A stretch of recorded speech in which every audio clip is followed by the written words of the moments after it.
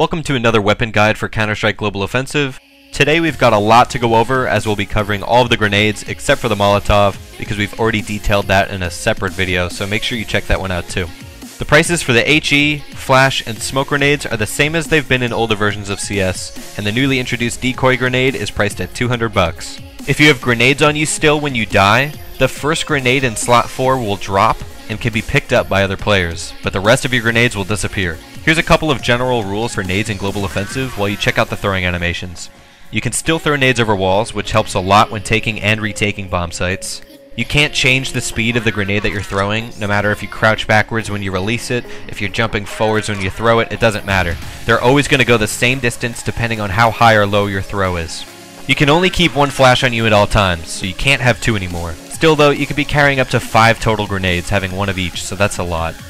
And lastly, clicking mouse 1 quickly will deploy your grenade instantly, much like how it is in Source. Let's take a quick look at the flashes. Flashbangs in Go are very similar to how they are in Source. When you get flashed, there's a saved image of the last frame you saw before becoming blind that gets blended together with what you're currently seeing, and that's paired up with the ringing sound. I've got to say too, turning away from flashes is extremely important and makes the severity of the flash much, much less. Smoke grenades in this game are fantastic. You only really need one to do the job because they're so thick. However, you can misthrow your smoke just a little bit and it can be a big problem as seen here right at the long crossing. So proper placement of smokes in Go means that you can smoke out key points in maps with just one smoke. Source players will feel right at home with these. They instantly bloom and they're very thick. But what you see is what you get. The smoke doesn't expand over time. It just becomes thinner. Also, when you target a player and go, you can see the player's name centered on your screen, and if you're using the new crosshair, the crosshair turns red. But if you're trying to target a player that's in a smoke, these things won't happen. Your opponent will remain hidden.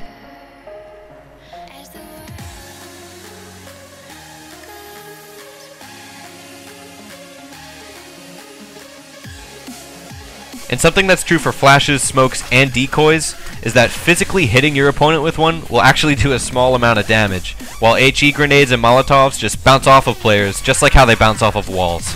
HE grenades will prove to be huge on pistol rounds, as we'll see here in a second.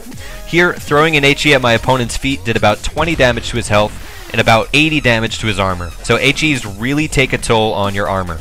When my opponent didn't have armor, only one HE killed him. Now this is really big because on a pistol round in competitive mode, you can't buy armor. So one directly placed HE could take out a bunch of players.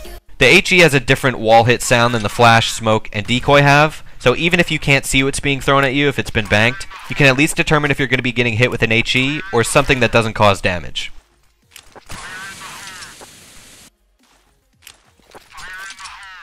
A big difference from 1.62 is that these grenades don't do damage through walls, so just nading double doors in middle isn't enough since people can just hide behind the door and take no damage.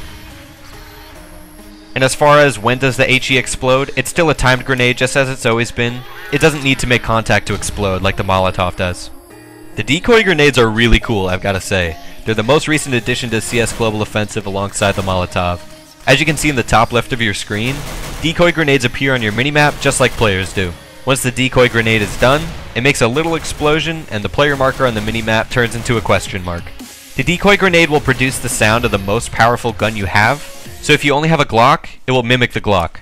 But if you have an AK, it will sound like an AK. So this is pretty awesome because these grenades won't just be making random gunshot sounds. They're actually going to relate to what guns you have in your inventory.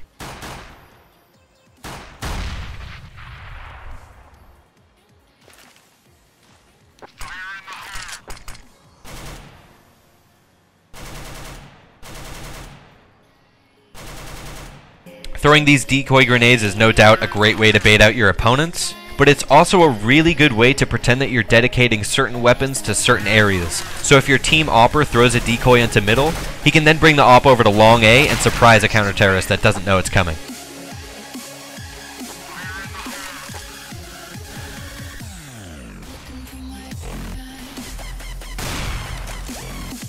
That does it for this episode. My name is Connor Cakebuilder General Corps. Be sure to stay tuned to ESEAnews.com.